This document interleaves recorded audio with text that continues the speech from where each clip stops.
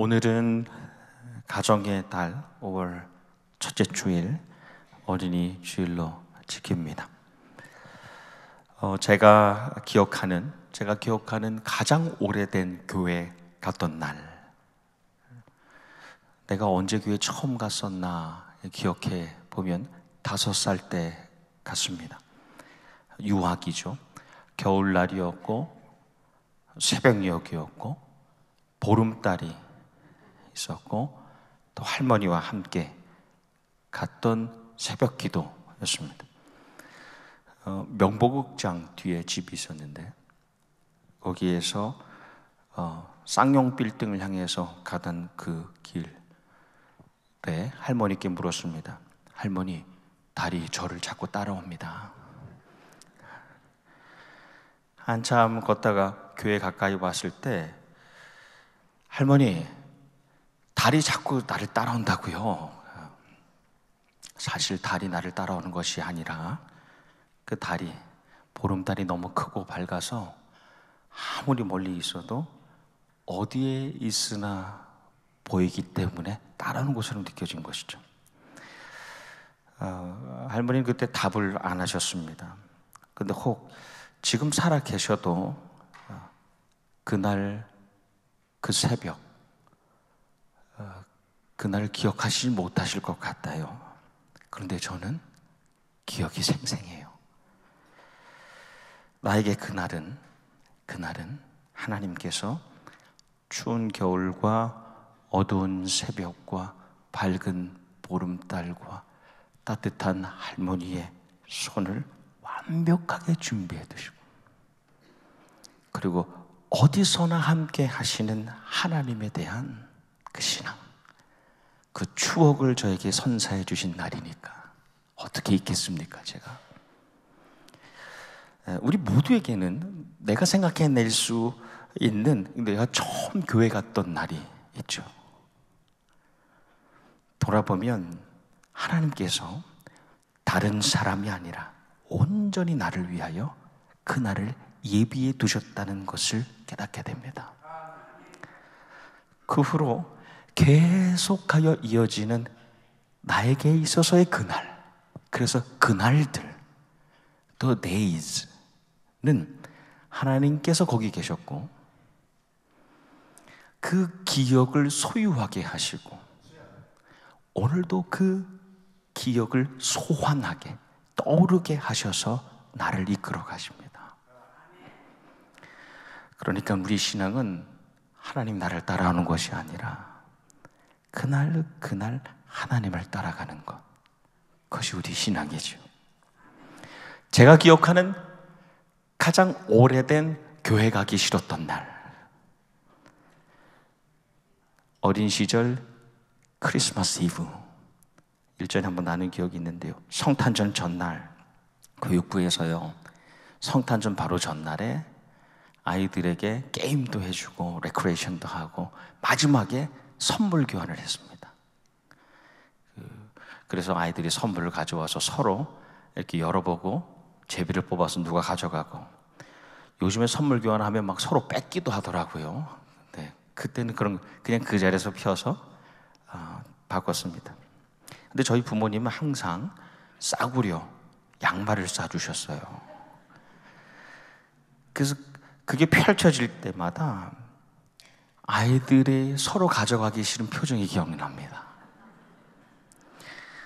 그리고 또 그걸 뽑혀서 자기가 가져갈 때 그 실망하는 그 얼굴도 기억이 나요.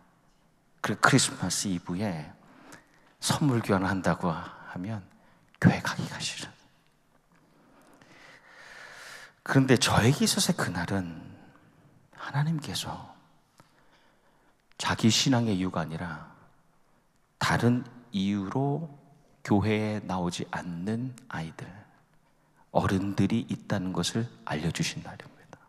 그렇게 기억이 됩니다. 내 신앙이 아니래도 사람에게 시험 들어서 환경이 되지 못해서 교회 나오기 싫을 수 있겠구나. 어린 시절에는 교회 가고 싶은 날, 또 교회 가기 싫은 날이 있는데 그 상관없이 교회 나옵니다. 교회 친구들과 친해져서건 예배가 좋아서건 행사가 좋아서건 부모가 데려와서건 교사가 강요해서건 어린 시절에 교회에 나옵니다. 그것은 그 마음에 순수함이 있기 때문에 그렇죠. 순전히 따르려는 마음이 있었기 때문에 그렇습니다.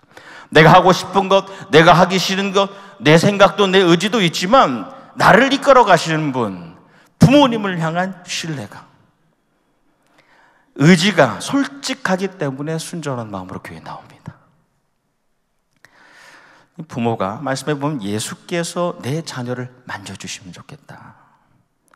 주님께서 우리 아이들 머리에 손을 얹어주시고 안수해 주시면 좋겠다라고 생각하고 아이들을 예수님께 데려오는데 아이들이 나오죠. 아이들이니까 나옵니다. 당시 부모가 이 존경하는 선생, 자기가 존경하는 그 랍비에게 자기 자녀들을 데리고 가서 안수를 받게 하는 것, 그래서 축복을 받게 하는 것이 전통이었습니다. 그럼 아이들은 순전히 나가게 됩니다. 여러분, 안수는 그 핵심적인 의미가 트랜스퍼입니다. 전가하는 것, 전달해 주는 겁니다. 그래서 어, 제물에게 안수를 하면 그 안수하는 그 제물에 내 죄가 transfer 전가되는 겁니다. 그래서 그 제물을 죽이잖아요. 그럼 내 죄가 사해지는 겁니다. 그런데 그 안수의 대상이 사람이 되면 내가 가지고 있는 능력을 넘겨주는 겁니다. 전가하는 겁니다. 내 지위와 내 사명을 같이 넘기는 겁니다. 축복입니다. 그러니까 부모들이 내가 존경하고 좋아하는 선생님이 그가 가지고 있는 지위와 사명과 능력을 우리 자녀들도 가지면 좋겠다. 그래서 아이들을 데리고 와서 안수 하시도록 하는 겁니다. 그 부모도 그런 순수한 마음이 있었던 거죠. 근데 예수님의 제자들의 반응이 아이들을 꾸짖고 다른 번역에 혼내고 다른 절에 보니까 다음 절에 길을 막아섰다. 오는 길을 막아서는 겁니다. 오늘 19장 말씀 우리가 함께 나누는데 18장 말씀에 보면 제자들이 예수님께 묻습니다. 선생님, 천국에서 하나님께서 다스리시는 그 나라에서는 누가 큰 사람입니까? 라고 물어요. 왜냐하면 우리 제자들끼리 막 싸웠잖아요. 내가 크다, 너가 크다 막 다투지 않았습니까? 누가 큰 사람입니까? 라고 물으니까 예수님께서 한 아이를 불러서 가운데 세우시고 말씀하시는데 너희가 돌이켜 너희가 회개하고 어린아이와 같이 되지 아니하면 결단코 천국에 들어가지 못하리라. 자기를 낮추는 스스로의 약함을 인정하는 그런 순수함이 있어야지만 천국에 살 수 있다는 말씀입니다. 바로 앞장에 하신 말씀인데 제자들이 기억하지 못했습니다. 그 가르침을 잊어버리고 아예 아이들이 오는 길을 막아서는 겁니다. 제자들은 모임에도 전체 인구에도 헤아리지 않는 그 연소하고 유약해 보이는 아이들이 예수님께 다가오는 것 자체를 싫어하고 그것을 경계했습니다. 그런데 예수님이 꿈꾸셨던 하나님의 나라, 정말 하나님이 통치하시는 그 나라는 생각과 행동이 순수한 사람들이 살아가는 것이죠. 그래서 신앙이 순전한 사람들이 천국에 들어가서 사는 겁니다. 우리가 천국이라고 하면 죽어서 가는 하늘나라도 있고 이 땅에서 하나님께서 명령하셔서 만들어가는 하나님 나라가 있어요. 하나님께서 정말 왕이 되셔서 통치하시는 다스리시는 나라는 높은 마음, 교만한 마음을 가진 사람은 들어가서 살 수가 없습니다. 낮은 마음, 겸손한 마음을 가진 사람만이 천국에 들어가서 삽니다. 왜냐면 마음이 높으면요, 가라고 하면 안 가죠. 오라 해도 안 옵니다. 마음이 낮고 마음이 겸손한 사람은 가라고 하면 갑니다. 천국에 오라 하면 천국에 옵니다. 마음이 가난한 자는 복이 있나니 천국이 저희 것입니다. 마음이 가난한 자가 천국에 들어가는 것은 가라 할 때 갈 수 있고 천국에 오라 할 때 올 수 있기 때문에 천국에 들어가는 겁니다. 거기서 살 수 있는 것이죠. 그래서 예수님께서 누구든지 이 작은 자, 이 순수한 신앙을 가진 아이를 실족하게 넘어지게 하면 차라리 목에 연자맷돌, 연자맷돌은 사람이 돌릴 수 없는 맷돌, 그 정도로 거대해서 나귀가 돌리는 맷돌입니다. 그 맷돌을 목에 메고 바다에 빠져 죽는 편이 낫다라고 하시죠. 우리 안에서는 작은 자처럼 보일 수 있지만 하나님 앞에서 큰 자인 순수한 신앙을 가진 어린 심령이 하나님께 나오는 것을 방해할 때 하나님께서는 그를 벌하겠다고 말씀하시는 겁니다. 그러니까 우리는 스스로 어린아이와 같은 순수한 신앙을 가져야 하고 그런 신앙을 가진 사람들을 지켜야 됩니다.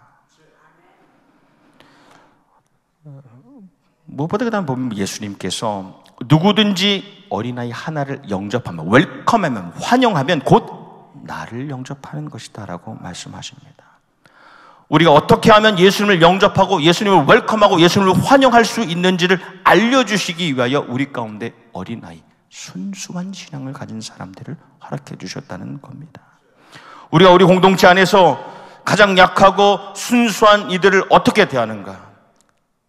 정말 순수한 신앙을 지키려고 노력하는 사람들을 어떻게 대하고 있는가를 보면 우리가 지금 예수님을 어떻게 섬기고 있는가를 볼 수 있다는 겁니다. 우리가 예수님을 어떻게 섬기는가를 보여주는 가장 확실한 기준이 무엇입니까? 순수한 신앙을 가진 어린아이들을 우리가 어떻게 대하고 있는가? 또 그리고 그 순수한 신앙을 나이가 연세가 드셔도 계속하여 지키려고 하는 사람들에 대하여 우리가 어떻게 응대하고 있는가를 보면 우리가 예수님을 어떻게 섬기는가를 볼 수 있겠다는 겁니다. 오랜 기독교 역사 가운데 지금까지 이어지는 종파 중에 이집트 콥티 철치, 그러니까 콥트 교회라고 불리는 종파가 있습니다. 어, 이것은 마가가 우리 마가복음 강의에 나누는데 마가가 처음 선교해서 세운 교회입니다. 그 다음 확장된 교회입니다. 아주 오래됐죠. 2000년이 넘은 종파입니다. 로마의 박해를 받았어요. 유대계의 공격을 받았습니다. 그 후로는 이슬람교, 무슬림의 침략, 압제로 1400년이 지나면서 지금까지 이루었습니다. 2000년 동안 수많은 순교자들이 나왔습니다. 2015년에 21명의 젊은 콥트 교인들이 21명이 신앙의 이유로 참수됐잖아요. 목에 잘림을 당했습니다. 불과 얼마 전에 있었던 일입니다. 몇 년 전에도 교회 폭탄이 터져서 27명의 신자가 살해됐습니다. 지금도 여전히 차별과 폭력이 계속되고 있습니다. 그래서 사람은 사람들은 이 콥트 교회의 역사가 그 자체로 고난의 연속의 역사다라고 말합니다. 근데 여러분 이집트 콥트 교회 신자 수가 몇 명 정도 될 것 같으세요? 1,800만입니다. 이집트 전체 인구가 1억 2천만인데 1,800만이니까 약 15%입니다. 지금도 이루형할 수 없는 그 핍박과 박해 아래서도 어떻게 2000년 동안 교회의 역사를 이어올 수 있었는가? 어떻게 2000년이 넘는 세월을 그 교회가 살아올 수 있었는가? 그 키가, 그 답이 아이들에게 있습니다. 아이가 태어나면 그 콥트 신자들은 세 가지를 하는데 첫 번째, 일부러 기독교식 이름을 지어줍니다. 마르코, 요한, 토마스. 그래서 그 이름만으로도 사회생활에서 아, 이 사람이 기독교인이구나 라는 것을 알게 합니다. 차별과 억압과 핍박과 박해가 있지만 알면서도 자녀의 이름을 기독교식 이름으로 만들어주는. 뭐 요즘에 기독교식 이름으로 우리 자녀들 이름을 지어도 그렇게 못 사는 경우가 얼마나 많습니까? 두 번째, 일단 교회 데려와서 유아 세례를 줍니다. 그래서 교회를 중심으로 살아가게 합니다. 세 번째는요, 이 오른 손목 안쪽에 십자가 문신을 합니다. 그 멋이 아닙니다. 그래서 오른손목 안에 십자가 있는 경우는 콥트 신자인 경우가 많습니다. 그래서 평생 그것을 바라보면서 순수한 기독교 신앙을 평생 지켜갈 수 있게 하는 겁니다. 작은 자일 때 순수한 신앙을 가진 이에게 신앙을 주어서 그들이 평생 동안 어떤 상황에서도 예수님께 계속하여 나올 수 있도록 교회를 지켜갈 수 있도록 만드는 겁니다. 세상에서의 정체성, 교회에서의 정체성, 가정에서의 정체성이 다르지 않고 순전한 신자로 살아가도록 하는 겁니다. 어린 시절에 교회 잘 나오다가도 어느 시점이 되면 특별히 독립된 자기 생활을 하게 되면서 점점 교회로부터 멀어집니다. 뭐 대학교를 가게 된다던가 직장 생활을 새롭게 하게 됩니다. 세상과 사람의 영향에 의해서 어느 순간 아예 교회에 오지 않게 됩니다.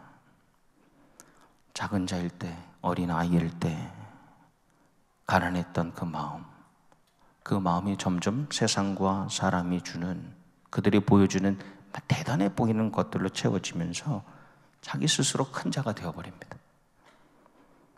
오라 해도 안 오고, 가라 해도 안 가고, 순종이 순순히 따름이 아니라 불순종 따르지 않을 삶을 살아갑니다. 첫 번째 우리는 자녀가 태어나는 순간부터 기독교인 크리스찬의 정체성을 알려줘야 합니다.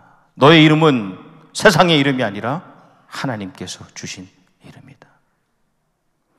너란 사람은 그냥 태어난 것이 아니라 하나님의 놀라운 계획 가운데 세상에 태어난 것이다. 두 번째, 우리는 자녀들에게 신앙의 유산과 전통들을 가르쳐야 됩니다. 예배가 뭔지, 기도가 뭔지, 찬양이 무엇인지, 말씀과 성례가 무엇인지, 성찬이 무엇이고, 세례가 무엇이고, 절기는 무엇인지를 우리는 가르쳐야 되는 것입니다. 세 번째, 우리는 우리 자녀들에게, 자녀손들에게 그날, 그 날들, 하나님을 인격적으로 만나는 날들을 선사해 줄 수 있어야 됩니다. 내가 세상을 떠나도 우리의 자녀 자녀손들은 그날을 기억해내고 교회를 향하여 걸음을 옮길 수 있는 순수한 신앙으로 살아갈 수 있도록 해야 되는 겁니다. 그래서 비록 세상이 보기에 사람들이 말하기에 교회는 보잘 것 없어 보이고 힘이 없어 보일지 모르지만 정말 교회는 위대하고 강력하고 아름답다는 것을 우리의 자녀들에게 보여줘야 되는 것이죠. 그래서 평생 정말 순수한 신앙, 신앙의 순수함으로 나올 수 있도록 돼야 되는 겁니다. 예수님께서 태어나신 지 8일째 되시던 날에 말씀에 보면 율법에 따라 예수님도 율법에 따라 배우신 그대로 하나님의 말씀을 따라서 처음 성전에 가시죠. 그리고 마지막 그 돌아가시는 날까지 성전을 향해 나아가셨습니다. 성전에 가면 재판받을 것도 아셨어요? 욕설을 들을 것, 채찍에 맞을 것, 침뱉음 당할 것, 그리고 성전에서 끌려나가 골고다에서 십자가에 죽으실 것도 아셨습니다. 가기 싫으셨겠죠. 가기 싫지 않으셨겠습니까? 좋은 것 하나 없고 정말 가기 싫었을 텐데. 그래도 성전에 가신 것은 예수님은 하나님 안에서 순수한 신앙, 어린아이 신앙, 가라 하면 가고, 오라 하시니 오는 그 신앙을 가지셨기 때문에 십자가가 있어도 가시는 사무엘은 우리가 알듯이 젖을 떼고 난 다음에 부모로부터 떨어져서 성전에 살았습니다. 근데 가서 보니까 그 성전에 이미 엘리 제사장의 두 아들 홈리와 비누아스가 살고 있었습니다. 그래서 다 같이 성전에서 지냈는데 이 엘리 제사장 아버지는 그 아들들이 죄를 지어도 전혀 훈육하지 않았습니다. 그렇게 죄를 짓고 죄를 짓다가 벌을 받아 죽게 됩니다. 근데 사무엘은 유아기 때부터 노년기까지 첫 호흡부터 마지막 호흡까지 평생 성전 중심으로 살지 않습니까? 비록 같이 성전에 있었지만 아버지 엘리 제사장은 두 아들에게 하나님을 소개하는 하나님을 소개하는 날을 주지 못했습니다. 훈육하지 못했습니다. 근데 사무엘에게는 만약 하나님이 너를 부르시면 말씀하십시오. 주의 종이 듣겠나이다 라고 가르쳐 줍니다. 그러면서 사무엘이 처음으로 하나님을 만나게 되는 그날, 그날을 경험하게 되죠. 그러니까 사무엘은 그 후로 성전을 떠나지 않습니다.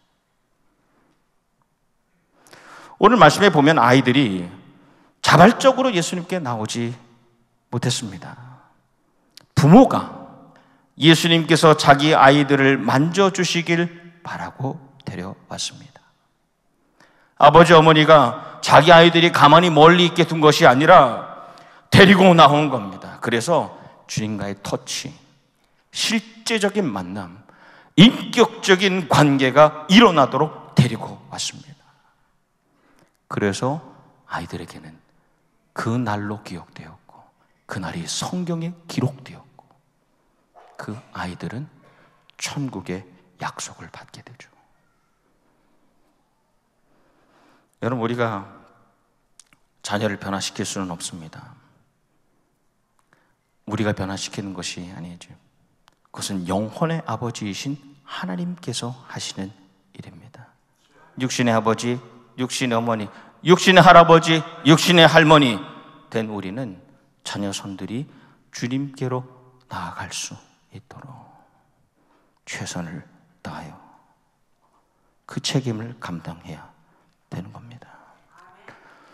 제가 그동안 적지 않은 장례 예배를 집례하면서 많은 경우에 손주들이 손주라고 하면 손자 손녀들이 유로지를 합니다. 추모사를 합니다.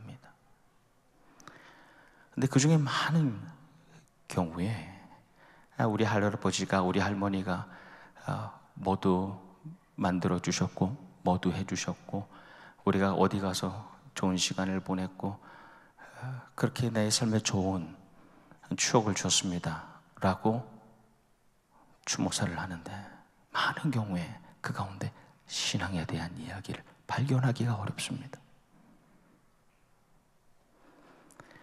우리 할아버지, 우리 할머니는 기도하는 분이셨고, 내 손을 잡고 교회에 가셨던 분이셨고, 나에게 하나님에 대한 그날을 선사해 주신 분이라는 이야기 참 듣기 어렵습니다. 우리 이민 1세대 참 정말 피와 땀과 눈물을 흘려 고생하셨습니다. 자녀들의 자녀손들의 성공과 출세를 위하여 최선을 다하셨습니다. 한 가지 아쉬운 것은 우리가 그들에게 하나님을 만날 수 있는 그날을 많이 제공해 주지 못했다는 것.